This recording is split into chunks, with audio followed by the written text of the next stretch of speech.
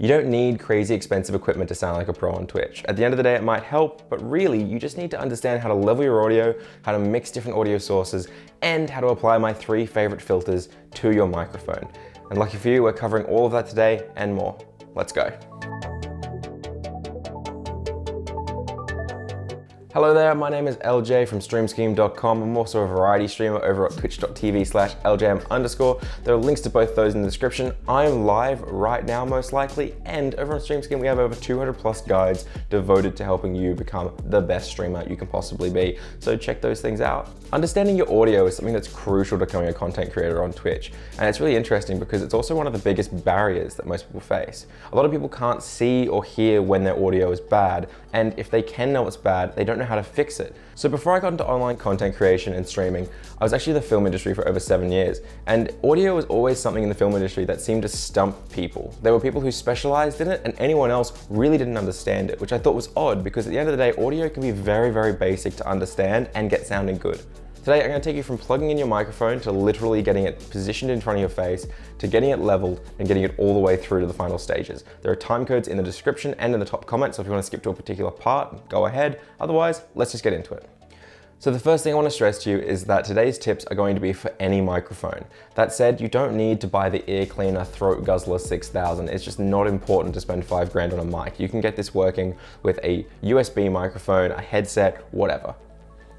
That said, I do think it is important if you want to take content creation on Twitch seriously that you look at investing a small amount into getting yourself a nice USB microphone. For example, I bought the AT2020 Plus recently when I upgraded because I didn't want to invest too much, but I still wanted it to have good quality sound. Using something like a webcam microphone or a headset, for example, that's designed for gaming or a laptop microphone is gonna lead to lower results because at the end of the day, those things aren't designed for content creation. They're designed for quick Zoom calls or just something on Skype, right? So it's never gonna get you the same quality you can out of actually buying something designed for content creation. In my seven mistakes small streamers make video, which is uh, linked to the cards and in the description, I said that in the film industry, we have a saying that is 60% of your film is audio. When it comes to streaming on Twitch or generally streaming at all, a lot of the time it's actually 100% because people put you on in the background while they play a game or they do something else. So having good audio is absolutely crucial.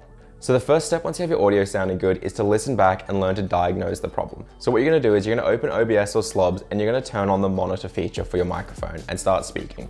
But what you're gonna wanna do is head to your mixer here, open advanced audio settings, and you're gonna wanna turn on your microphone and set it to monitor only, or if you're recording and you wanna make sure the audio is going through like I am, then monitor and output. You'll be able to hear yourself in your own headphones and you can start getting an idea for how your audio sounds, how loud or how quiet it is. Now what I want you to do is I want you to move around a bit. Lean over, lean this way, lean that way. Get an idea for where your voice sounds best and make sure you're speaking at the mic properly. The thing is, the AT2020 Plus, the one I have, has a little blue light on it, so I know where the front is. But often with these condenser USB microphones, the front can be a bit ambiguous, and sometimes people will be talking into the back or the side of the microphone without even knowing it. So make sure you move around your mic, listen to it, talk to it, and find where you sound the best or the loudest. So once you can hear yourself, all you have to do is just move your arm around and you'll get an idea for how the mic picks up audio. As I said, the AT2020 has this little blue light, which means it's the front, and instantly you can already hear the difference in my voice. Watch. Ba. See what I mean? And you can do the same thing, just moving your mic around. See what I mean? Test, test. So one of the first things I'm going to tell you in this entire video is that to get good audio, sometimes you just need to have your mic in the right position. Even if your audio sounds best when your mic is here or something, don't do that because obviously people want to see your face. So find a good position where it sounds good and doesn't obstruct you. You might be thinking, okay, but my game or my music is really loud. What do I do then? Don't worry, I'm gonna show you how to mix all of that at the end of the video. Let's just get your mic set up first, okay?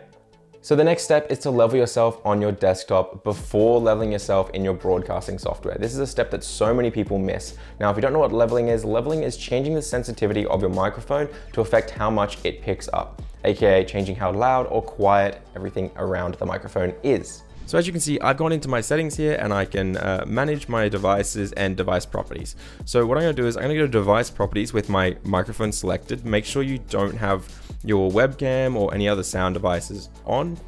Go to your device properties and you can see that you can start leveling it here. Now, you're listening to me through slobs, so just watch what happens when I change my desktop. Yeah. It's It can be pretty bad, and you need to be very, very careful. So what you're going to do is you're going to find a good middle ground, turn on test, and you'll hear yourself, and you can make it work. Once you're happy with that, head into your broadcasting software such as Streamlabs or OBS and look at where your mic is sitting. Now you wanna be hitting the yellow area and not the red area. If you're hitting green, you might be a little bit too quiet, so just do your best to hit that yellow mark. Once you're leveled in your desktop, you're gonna come into your broadcasting software and you're gonna start leveling yourself. Now you can see I'm hitting yellow just fine. When I yell or speak a bit louder, it goes into red, but we're gonna fix that in a bit. Right now, just when I talk normally, I'm in yellow, which is good. I know it's important sometimes to err on the idea of being quieter, but I just don't like losing that kind of bassiness. I don't exactly have the best voice. So I, I do aim for the yellow, and that's fine. While you're leveling, you're probably gonna hear some background noise like a fan or maybe some dogs or your keyboard clackering. Don't worry, we're gonna have filters that'll fix all of that soon. For now, just get your voice sounding good and to a nice volume. So before I show you guys those filters and how to mix your different audio sources, I just want to show you guys this cool animated overlay pack. It's one of 13 different animated overlays coming out in the next two weeks. They're entirely free. We've built them. We're very, very proud of them. And they're completely set up and good for you to go from the start. When you get into it, you're going to get this little welcome here, which teaches you how to install it, shows you where the fonts are. It takes you through just chatting, takes you through be right back, stream ending, it even has little countdowns, and the in-game is all set up with vertical support bars, horizontal support bars, and different webcam borders for you. The entire pack is animated, it is free. All you need to do is subscribe to the YouTube channel so you know when it's coming out. It should be out in the next two weeks though, so get hyped. I hope you guys enjoy it. We're super proud of these products and we can't wait to give them to you for free. So filters. Filters are something that I think you're gonna to want to use almost all the time. Now the three main ones that I use all the time are noise suppression, a limiter, and a noise gate. Now they each do different things, but all along the same lines. So the first filter we're gonna set up and the one that I think is most important is noise suppression. Now, if I have a fan going next to me or if I was lucky enough to have air conditioning in my office, then this would be perfect because noise suppression is able to pick up that fan, depending on your settings, and remove it from your audio. Now, obviously, it's gonna strip a little bit from your voice, so be careful not to push it too far, but it does a pretty good job at the end of the day. Sometimes it is better to simply just remove the audio source, turn the fan off, turn the AC off, but if you're stuck with it and can't change it, then this is a fantastic filter for solving that problem. Okay, so getting straight into filters. Now, you, this is just my base microphone still. I haven't got any filters on it yet. I'm about to turn on a fan that's right next to me, which is where I have it during my stream. Not as loud as, I wouldn't normally have my fan on as much as I actually have on in this particular one, but I want to show you an extreme case. My PC is still running right next to me, and I'm going to screen record the entire process. First things first, I want you to head into your settings here. You need to turn on your monitor only. I'm turning on monitor and output because I need you guys to still be able to hear my voice and I need to be able to hear it. Okay, so let's turn this fan on and hear how this is.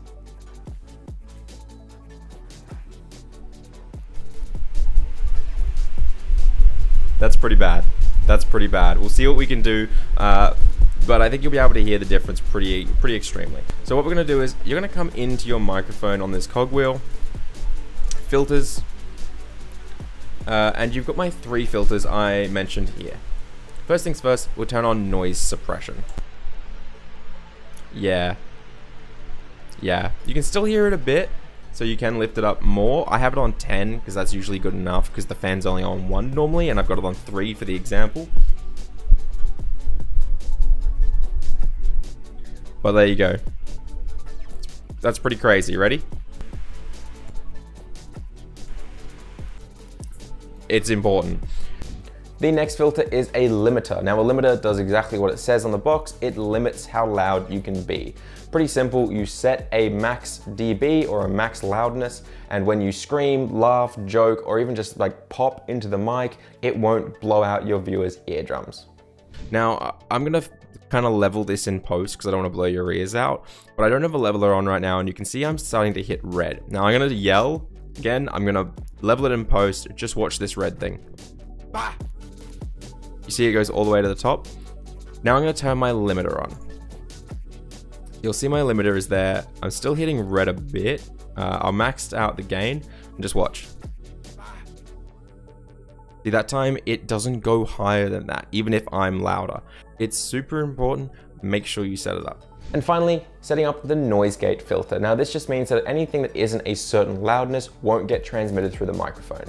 So you might be thinking, isn't this just like noise suppression? No, no, it's not. Noise suppression strips things out entirely. A noise gate just turns off your mic pretty much until a certain loudness is met, and then it will quickly turn on. So clackering on your keyboard won't appear, speaking will. However, when you start speaking, the clackering on your keyboard, the fan, all that stuff will come through with your voice. So I've just turned the fan off because I just want to show you the noise gate now. So let's just show you the clicking. Can you hear it? I think you can. So we're to turn on the noise gate. I'm still clicking. Watch. I don't know how I can show it to you. It's just not to pick it up unless I speak while it's there, so you might not be able to hear it. It's, it's pretty good. Your close and open threshold, you just need to balance so that your voice can come in and your clicks won't. I have found that for my microphone, these settings work quite good. Your attack, hold, and release time come down to whether or not it's going to close that gate back up after you finish speaking instantly or a little bit after. And the same thing, whether it opens straight away to let your voice come through or if it gives it a second. I've left these on default because they seem to work great, but if you're having trouble where your voice is getting cut off at the start or the end, you can play with these settings a bit after. This is why I say to use all three of these things because if you imagine that your audio is simply just a gate or a dam letting water through, a noise gate will hold it until enough is there, it'll let your audio through, a noise suppression is like a filter to catch the bad stuff, and the limiter is in case too much is letting through and it stops it. That's a pretty good analogy. I didn't write that in the script, I just came up with that. okay, so the final step and the most important one is mixing your microphone and your music and your game all together so it is a good viewing experience for your audience.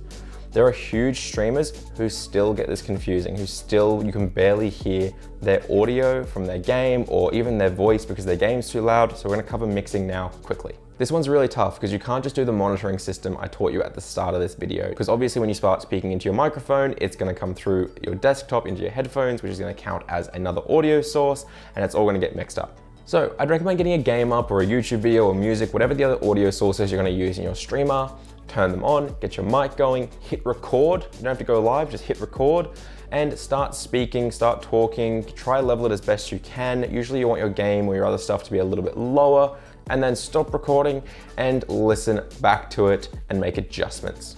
So how to mix your game audio. Now, I'm gonna have to go in here and I'm gonna have to turn off my monitor and my output. Otherwise, it's gonna be impossible for me to mix these, but you'll still be able to hear me and that's fine. Now, first things first, I need to have some background track. So I'm gonna chuck on some music now. And I can see on my bars there, it is playing pretty well. I'm a bit louder than it, so I'm just gonna drop myself down a little bit. And you should still be able to hear me. Now look at the way my levels work here. You've got this, fairly solid, and then this is fairly solid. Now if this doesn't look good in post, I'm gonna look real silly. But essentially you wanna be higher than its highest. Now mixing is always a bit of a tricky game, so just try and keep yourself louder than where your music is. If it's too low, then no one's gonna be able to hear your music. If it's too high, then no one's gonna be able to hear you properly. So it's a balancing act, find a nice place for it and just work on it. When it comes to your mixing, you need to be very much on top of it and pretty much just practice makes perfect. Every single different game, every single song is gonna have a different loudness to it, a different dB. If someone's firing a gun, it's obviously going to be quite loud compared to say the sounds of farming sim. So you have to pretty much be on top of your audio at all times and just be careful. Once you get an idea for monitoring it using the recording, you'll, you'll be pretty good at doing it live. A big bonus tip for this is turn on subtitles where you can. Most games have them included these days. And there's also a lot of really good extensions for Twitch. I use one on my stream, so if you want help with that, check me out or I'll make a video on it soon. So now with all of those things, you should be able to get your mic set up and sounding like a pro. If you enjoyed this content, if it helped you out at all, please consider throwing a cheeky subscribe or a cheeky like on the video. It's entirely free and it really helps us out. If you have any questions, comment them down below. I answer within five minutes currently. I haven't broken my streak, even though we are getting way bigger. So yeah, that's all. I'll see you next week. Thanks guys.